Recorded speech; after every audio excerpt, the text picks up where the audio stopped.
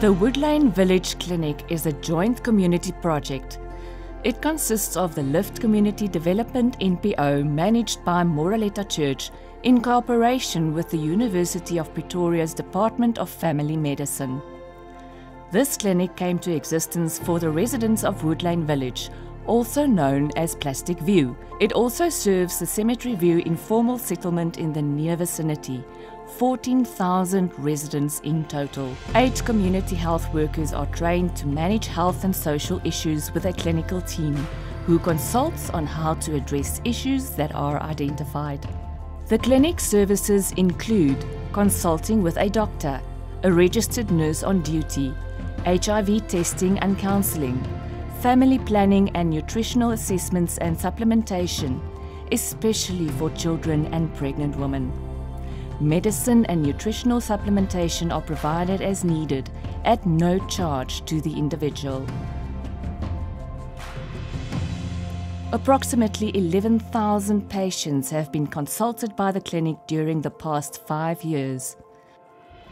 An improvement in their general health status has been key successes which include assisting to reduce the spread of TB, the current infection rate equals 10% of the average Tshwane infection rate. Preventing unplanned pregnancies and assisting numerous patients to gain access and receive the treatment that is necessary. The Woodlane Village children have a higher than normal occurrence of being underweight for their relevant ages when compared to the international normal World Health Organization standards. To address specific needs, such as weighing and measuring, vitamin A supplementation, and deworming of children, regular health days are organized.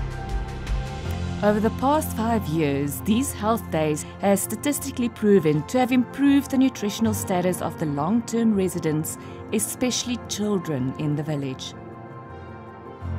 Many volunteers are assisting every week to support the health services to the community.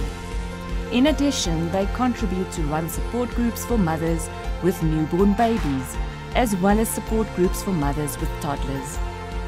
The clinic is in constant need of support by means of finances and medical assistance. There are numerous stories of hope and healing that would not have been able to execute without the support of donors and volunteers. Without the clinic, many individuals would not have received the care they needed and some would have indeed died.